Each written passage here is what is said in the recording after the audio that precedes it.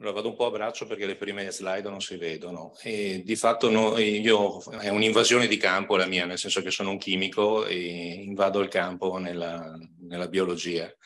Questo perché? Perché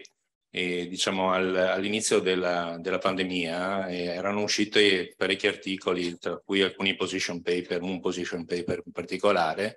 dove legava fondamentalmente il particolato atmosferico quale vettore per il, anche la, diciamo, la diffusione virale e quindi anche che il particolato atmosferico, il PM10, potesse essere il, la porta d'ingresso per, eh, per diciamo, la diffusione del, del virus. Questo è legato soprattutto al fatto che vi era stato dato una correlazione tra il, eh, la concentrazione del particolato atmosferico in alcune zone del nord Italia, in particolare la Lombardia, e il numero di inquinanti, cioè il numero di eh, contagi. Cosa, cosa è legato tutto questo? È legato a un fatto che molti di noi ci sono posti il problema di ricercare effettivamente il virus. Molte agenzie hanno chiesto che i propri all'interno delle proprie strutture si ricercasse il virus e, il, e per questo diciamo, abbiamo messo in piedi un eh, tentativo di ricercare il virus all'interno proprio del particolato atmosferico. Il, ehm, diciamo che nell'occasione della pandemia di fatto eh, abbiamo avuto delle manifestazioni che sono state molto simili alle manifestazioni che avvenivano nel passato con i fenomeni di peste o cose di questo tipo. Di fatto, per esempio, il, e si parlava, è molto simile all'esempio dei miasmi di che in alcuni casi si raccontavano per la diffusione della peste. Quindi di fatto il, abbiamo perso un po' forse le nostre conoscenze scientifiche per eh, in qualche modo cedere alla, alla, al pathos del momento. Insomma. Quindi per fare tutto questo naturalmente eh, abbiamo un po' confrontato anche ciò che c'era già in letteratura, ci sono state altre agenzie, per esempio l'agenzia del Piemonte che ha fatto un lavoro emerito diciamo, in quest'ambito. E in altri, in altri casi abbiamo anche, siamo andati a vedere cosa c'era stato fatto in letteratura precedentemente. Per esempio in, in, eh, negli Stati Uniti in precedenza era stata correlata la, eh, la polmonite, la polmonite atipica, non la SARS, per, eh, con il particolato atmosferico. Avevano di fatto riscontrato che in percentuali molto basse diciamo, vi era un aumento delle, eh, del, delle polmoniti atipiche nei momenti in cui vi erano di fatto dei, eh, delle concentrazioni elevate di particolato atmosferico quale il PM2,5. Questo in pre-pandemia. Non avevano di fatto legato la diffusione della della polmonite tramite la, eh, il particolato, ma il fatto che il particolato atmosferico potesse in qualche modo, eh, legando anche magari delle infiammazioni o cose di questo tipo, diciamo, eh, facilitare l'ingresso di determinati virus. Ricordiamo che comunque diciamo, nell'aria vi sono molti inquinanti oltre al particolato atmosferico che danno fenomeni di irritazione alle alte vie respiratorie e anche al, in profondità. Per esempio qui vi ho elencato l'ozono piuttosto che gli ossidi d'azoto, l'anidride solforosa. Ci sono dei lavori emeriti fatti da un, eh, da un professore del, di Trieste, Nimis, che legava effettivamente tutta la parte eh, della concentrazione dell'anidride solforosa con le malattie respiratorie laddove quando c'era una concentrazione di anidride solforosa molto alta in aria. Quindi ci sono molte sostanze che di fatto, qua non mi si muove più il mouse, sì, il, ehm, che di fatto eh, davano eh, l'idea che ci sono degli inquinanti nell'aria che promuovono il, le malattie respiratorie. Qui vi ho riportato, come vi ho riportato in qualche slide questa mattina i colleghi biologi, la grandezza diciamo, delle varie, eh, dei, dei, vari eh, sia delle spore che delle alghe che di, di batteri ed altro, pollini. Quindi di fatto quando noi andiamo a ehm, trovare il PM10, il PM2,5, troviamo un coacervo di tantissime sostanze, come abbiamo visto nelle varie immagini dei SEM piuttosto che in altro. Quindi quel che noi possiamo, non è peregrino il fatto che potevano esserci anche dei virus e dei virus che potessero in qualche modo entrare all'interno del nostro eh, del nostro organismo. Di fatto noi abbiamo già delle manifestazioni che nel passato si sono e nel presente vi sono per la, diciamo, la contaminazione virale o batterica Eh, vi ricordo per esempio il batterio della legionella su cui molte delle nostre agenzie sono impegnate per la tipizzazione ed altro, che viene trasmesso fondamentalmente per via aerosol tramite l'aerosol di acqua, diciamo soprattutto, o comunque di goccioline liquide, insomma. Ma ricordo per esempio il, febbre, il batterio della febbre Q, che è, una, che è una, una, delle manifestazioni più importanti, è venuta nel, vicino ad Utrecht, dove il, eh, la contaminazione è avvenuta tramite, proprio tramite l'aria, perché il, veniva disperso lo strame di alcune del, di allevamenti di capre e questo veniva trasportato dall'aria in formato di particolato e veniva respirato dal, da persone che con le capre non avevano niente a che fare, insomma. E quindi abbiamo avuto anche una diffusione di questo, ma ce ne sono tantissime altre, ricordo anche le spore, per esempio i vari aspergilli ed altro che i biologi mi insegnano, possono creare anche fenomeni molto gravi fino alla morte, insomma. Quindi ce ne sono molti. I batteri, la dimensione del batterio della SARS è attorno ai 100 micrometri, quindi eh, ai 0,1 micrometri, quindi 100 nanometri, e quindi può, eh, diciamo, se, eh, può penetrare tranquillamente all'interno delle vie respiratorie fino a, pen penetrazioni profonde.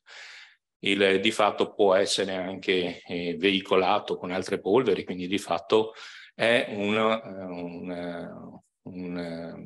diciamo un virus che non può essere trattenuto anche dalle, dalle alte vie respiratorie, ma può, può mandare anche all'interno dei polmoni poi L'esperimento che avevamo messo in atto sono stati di fatto in due eh, sessioni indipendenti. Abbiamo utilizzato la stesso, grazie anche al contributo e al fattivo, poi vi, vi, nella bibliografia vi citerò alcuni lavori dell'Istituto Superiore di Sanità dell'Università di, di, Perugia e dell'Università di Padova. Insomma abbiamo messo a punto un metodo che è lo stesso metodo che adesso è utilizzato, noi qui stiamo parlando di aria, ma è stato utilizzato nelle acque, per esempio, nel, se forse l'avete sentito come acronimo, è il progetto SARI, che ricerca il virus all'interno eh, dei reflui. Eh, quindi abbiamo ut utilizzato lo stesso criterio per eh, la ricerca anche del virus all'interno del, eh, del particolato atmosferico. Il, la ricerca di fatto è stata fatta uh, per uh, la ricerca del, dell'RNA, quindi dell'RNA che non sappiamo se sia vitale o meno, è stata fatta in due periodi distinti, una prima fase dove sono stati raccolti dei campio campioni di PM10 su filtri in fibra di quarzo, di PM10 e anche di PM2,5 su filtri di quarzo e su questi sono stati sottoposti ad estrazione che, e, e ad analisi in, eh, diciamo, in, eh, al, all'Istituto Superiore di Sanità e all'Università di Padova. In, in, un altro periodo del successivo, nel periodo di novembre del 2011, quando c'era in Veneto, ma un po' in tutta Italia, mm. c'era stato un aumento dei contagi, abbiamo rifatto i campionamenti. In questo caso abbiamo utilizzato i campioni della qualità dell'aria abituali su filtri di quarzo, ma abbiamo fatto anche dei campionamenti su altro materiale, su filtri in Teflon per capire la differenza, diciamo, poi estra di estrazione sul, eh, del, del, virus stesso. Il, I punti critici del, del, di questa ricerca sono stati fondamentalmente il filtro da utilizzare, sembra banale, ma la tipologia di filtro poi influenza di fatto l'estrazione e anche l'analisi. Lo stress di campionamento, nel fatto che quando noi eh, andiamo a campionare ad alto flusso, o anche a medio flusso, diciamo, abbiamo una depressione di fatto e quindi la, distruzione, la possibile distruzione del, eh, di tutto l'apparato virale, diciamo, e quindi del, eh, anche del, del, dell'RNA, insomma. Il fatto che vi sia un tempo di conservazione, sappiamo che i virus al di fuori del corpo, molti di questi sopravvivono poco, la, e, la, e, la, temperatura di conservazione. Poi naturalmente sono stati fatti tutte le prove di, per l'estrazione dell'RNA e i possibili interferenti in fase estrattiva. Insomma. I sistemi di campionamento che abbiamo utilizzato sono quelli abituali, eh, e, però abbiamo utilizzato anche una testa ad alto volume con campionamento attorno ai 500 eh, litri al minuto e questo li abbiamo utilizzati su filtri in Teflon da 150 mm. Il, il metodo d'analisi è qui riportato, non ve lo vado a, a leggere, ma di fa anche perché non, La cosa interessante invece è la figura, nel senso che il campionamento viene fatto su, eh, su quarti, cioè abbiamo fatto un campionamento a quarti e questo è interessante per dopo il proseguo del, dell'indagine che abbiamo tentato. L'amplificazione avviene eh, tramite ormai PCR un, in real time e l'analisi la, avviene naturalmente, la parte analitica va a misurare la fluorescenza della, della sostanza fluorescente che è legata al, all'RNA estratto. Insomma. E anche qui non vado a discuterne perché vi annoierei e basta. Insomma. Invece vado a, eh, ad individuare il, eh, diciamo, il cuore della sperimentazione successiva ai, alle pubblicazioni che abbiamo fatto,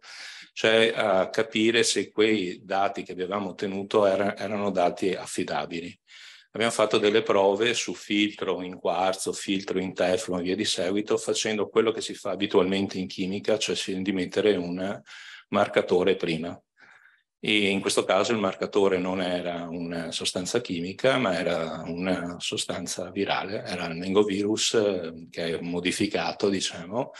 che ha un diametro un po' più piccolo rispetto al, al, al, al diametro diciamo, del virus SARS, della SARS. E questo l'abbiamo fatto, se vi ricordate la foto divisa a quadranti, l'abbiamo fatto su un quadrante del filtro stesso, quindi abbiamo fatto una in eh, diciamo, un'introduzione virale su un quadrante prima del, eh, del campionamento stesso, poi in, successivamente al campionamento prima dell'estrazione. Quindi abbiamo utilizzato due quadranti per verificare il recupero fondamentalmente del mengovirus.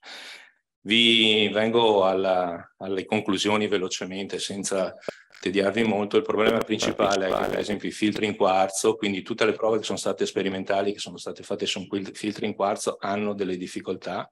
perché l'estrazione fondamentalmente è molto eh, diciamo difficile perché il quarzo rilascia delle microfibre ed altro che vanno a interagire con, con, la, con l'analisi, con la PCR ma non soltanto, anche la polvere di fatto del filtro del particolato e va a interagire con l'analisi stessa. Quindi abbiamo visto che il problema principale legato a filtro e, mh, e polvere possono in, in, diciamo, inficiare i dati stessi. Il, la soluzione migliore che abbiamo trovato è quello dell'utilizzo dei filtri in Teflon fondamentalmente e una diluizione del, del campione prima della, dell'analisi, cioè del, il fatto che il, eh, con anche un decimo diciamo, del, diluendo di un decimo l'estrazione si riesce ad avere una magnificazione dell'RNA tale per cui si riesce anche a fare delle analisi quantitative abbastanza precisa del, del, dell'RNA stesso, tant'è che abbiamo avuto dei recuperi di vengovirus anche superiori al 90%. Questo diciamo è, è stata la parte sperimentale successiva alla, ehm, successiva all'analisi e alle, alle, pubblicazioni che avevamo fatto, questo diciamo, ha in qualche modo validato il, il sistema e ha fatto diciamo, in qualche modo no, no, va, va, ritenere utile il, anche la ricerca del virus all'interno del, eh? del particolato. Vi sono molti altri lavori che sono stati pubblicati sulla ricerca del virus. Si può dire comunque che le concentrazioni virali all'interno del PM10 e del PM2,5 non sono tali da produrre diciamo, eh, con, contagi tali, perché le concentrazioni sono molto basse. Tra l'altro la PCR non discrimina l'aspetto vitale del virus rispetto al, al fatto che questo virus non sia vitale. Il eh, lavoro abbastanza interessante che potrebbe proseguire sarebbe quello di introdurre intanto metodi di campionamento a livello indoor dove effettivamente il, avviene il contagio. Questo l'ARPA Piemonte aveva già fatto una, un lavoro, ha pubblicato un lavoro su questo per, eh, per, dare, diciamo, delle, per tracciare una linea, ma l'altra cosa è quella di riuscire a capire se lo stesso metodo può essere utilizzato sia per altri virus che per altri batteri, dal momento che la PCR fondamentalmente è una tecnica, in realtà è una tecnica potentissima che può consentire chiaramente un ampio spettro di controllo. Insomma. Vi, metto, vi ho posto qui i lavori fatti, alcuni dei lavori fatti a, a livello italiano, i primi due sono fatti dal gruppo del Veneto, insomma, insieme con l'Istituto Superiore eh, di Sanità e con, eh, con l'Università di Perugia. Il, eh, gli altri, ne ho citati degli altri, per esempio quello di Bergamo che era, derivava appunto da quel position paper che di fatto però è stato smentito con prove diciamo sperimentali. Niente, io vi ringrazio, mi scuso che la presentazione non era così eh, diciamo efficiente, ma l'altra cosa che vi volevo dire è che alla fine del, dell'Ottocento, cioè tra la, verso la fine dell'Ottocento c'era tale Spallanzani, che noi adesso conosciamo solo per nome per, i, per, gli ospedali, ma che il tipo aveva già confutato diciamo, il fatto che la tesi aristotelica de, dell'autogenesi diciamo, dei virus o batteri, o diciamo, lui non li chiamava tali, ma insomma dei microorganismi, e quindi dico, probabilmente da allora ad oggi dobbiamo ri, forse ogni tanto ridare un po' di spazio alla scienza e farla sentire anche sulle pagine dei giornali in modo un po' più pesante. Insomma. Ecco.